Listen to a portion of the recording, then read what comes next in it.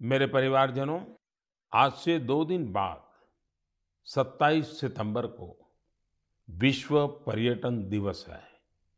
पर्यटन को कुछ लोग सिर्फ़ सैर सपाटे के तौर पर देखते हैं, लेकिन पर्यटन का एक बहुत बड़ा पहलू रोज़गार से जुड़ा है।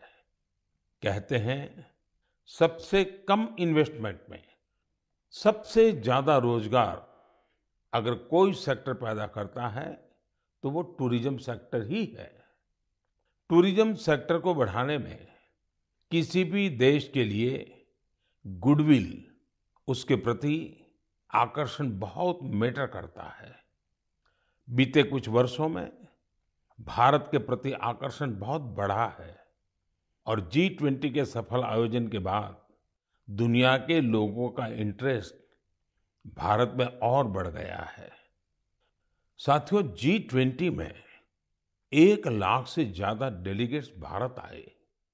वो यहाँ की विविधता अलग अलग परंपराएँ भांति भांति का खान पान और हमारी धरोहरों से परिचित हुए। यहाँ आने वाले डेलीगेट्स अपने साथ जो शानदार अनुभव लेकर गए हैं, उससे टूरिज़्म का और विस्तार होगा। आप लोगों को पता ही है कि भारत में एक से बढ़कर एक वर्ल्ड हेरिटेज साइट्स भी हैं और इनकी संख्या लगातार बढ़ती जा रही है। कुछ ही दिन पहले शांति निकेतन और कर्नाटका के पवित्र होयसड़ा मंदिरों को वर्ल्ड हेरिटेज साइट्स घोषित किया गया है। मैं इस शानदार उपलब्धि के लिए समस्त देशवासियों को बधाई देता हूँ। मुझे 2018 में शांति निकेतन की यात्रा का सौभाग्य मिला था। शांति निकेतन से गुरुदेव रविंद्रनाथ टैगोर का जुड़ाव रहा है। गुरुदेव रविंद्रनाथ टैगोर ने शांति निकेतन का मोटो संस्कृत के एक प्राचीन श्लोक से लिया था। वह श्लोक है, यत्र विश्वम भवत्येक निडम अर्थात जहाँ एक छोटे से घोंसले में पूरा संसार समाहित हो सकता है। कर्नाटका के जिन होयसड़ा मंदिरों को यूनेस्को ने विश्व धरोहर सूची में शामिल किया है, उन्हें तेरहवीं शताब्दी के बेहतरीन आर्किटेक्चर के लिए जाना जाता है।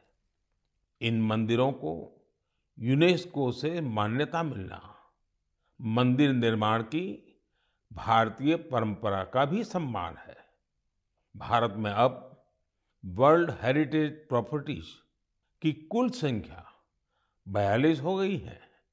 भारत का प्रयास है कि हमारे ज़्यादा से ज़्यादा ऐतिहासिक और सांस्कृतिक जगहों को वर्ल्ड हेरिटेज साइट की मान्यता मिले। मेरा आप सबसे आग्रह है कि जब भी आप कहीं घूमने जाने की योजना बनाएँ तो ये प्रयास करें कि भारत की विविधता के दर्शन करें। आप अलग अलग राज्यों की संस्कृति को समझें हेरिटेज साइट्स को देखें। इससे आप अपने देश के गौरवशाली इतिहास से तो परिचित होंगे ही। स्थानीय लोगों की आय बढ़ाने का भी आप अहम माध्यम बनेंगे।